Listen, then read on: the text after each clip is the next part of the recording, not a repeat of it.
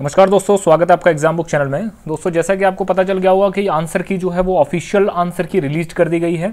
10 तारीख को, पहले ही मैंने आपको 10 तारीख को बोला था प्रीवियस दो तीन वीडियो जो हैं, उनको देखिए जाके, उसमें एक मैंने की के लिए एक वीडियो बनाई थी। उसमें मैंने कहा था कि आप 10 तारीख तक वेट करेंगे 10 तारीख तक आपके 100 परसेंट जो है वो किया जाएगी। और जैसा कि बोला था, वैसे ही आज की आ चुकी है। अब आपको इसमें चेक करना है कि आपके कितने बनने हैं। डिस्क्रिप्शन में टेलीग्राम लिंक है, उसको ज्वाइन करिए, वहाँ पर जाकर अपना स्कोर बताइए। चैट ओपन रहती है हर समय। इन्होंने भाई है कि तीन चरणों में पेपर हुआ था। दस तारीख से लेके दस तारीख से लेके सोलह तारीख तक। दस तारीख से लेके और आपका सोलह तारीख तक जो है वो बारह बजे तक वेबसाइट पर उपलब्ध रहेगी। आपको जो भी जो है अभ्यर्थी को किसी प्रश्न में या किसी प्रश्न के किसी उत्तर में या उत्तर कुंजी में यदि कोई आपत्ति है तो आप आपत्ति दर्ज करा सकते हैं ऑनलाइन। याद रखिएगा 10 तारीख से लेके और 16 तारीख तक के बीच में आपको आपत्ति दर्ज करानी है।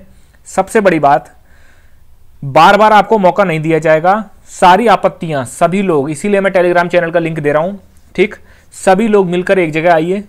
ज़्यादा से ज़्यादा अपना देखिए कि पेपर में आपका जो है आपका कहाँ कहाँ पर आपकी कौन कौन सी गलतियाँ हैं, उनको क्रॉस चेक करिए, क्योंकि इन्होंने साफ़ बोला है कि कि इन्होंने बोला है कि अभ्यर्थी अपनी आपत्तियों को पहले देख ले, क्योंकि केवल एक बार ही बोर्ड की वेबसाइट पर उपलब्ध लिंक के माध्यम से ऑनलाइन आपत्ति दर्ज कराई जाएगी। एक ही बार होगा आपका।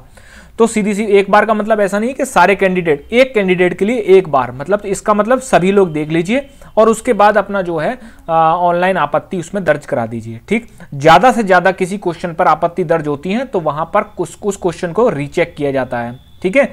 अगर मान लीजिए एक आध क्वेश्चन पर ए, अगर आपने सोच लिया कि मेरी शिफ्ट में है तो चलो कोई नहीं हमारे बहुत लाखों लड़के बैठे होंगे कोई और आपत्ति दर्ज कर देगा नहीं। ये आपकी भी रेस्पॉन्सिबिलिटी है कि अगर आपको कोई क्वेश्चन गलत लगता है तो आप करिए उसको पर्सनली बेसिस पे करिए। आप दूसरों पे छोड़ेंगे तो वो ठीक नहीं रहेगा। वहाँ पर आपका जो है जो क्लेम का एक वो होता है वो कम हो जाता है ठीक? ठीक है? जिसमें रजिस्ट्री डाक वगैरह इनसे भी जो है प्रार्थना पत्र भी शामिल है ठीक? आ, अगर देखिए ऑनलाइन आपत्ति ही इसमें दे, देखी जाएगी। अगर आप रजिस्ट्री करते हैं डाक करते हैं ईमेल करते हैं उनसे कोई भी विचार नहीं किया जाएगा उन पर ठीक? तो ये प्रॉपर तरीके से आपकी आ चुकी है। अपना अपना स्कोर बताइए डिस्क्रिप्शन में जाके बिल्कुल घबराइए मत। ठीक है, अगर आपका स्कोर मैं बाद में बताऊँगा कि इस समय स्कोर कितना बनना है, तब आप अपनी रनिंग स्टार्ट कर सकते हैं। धन्यवाद।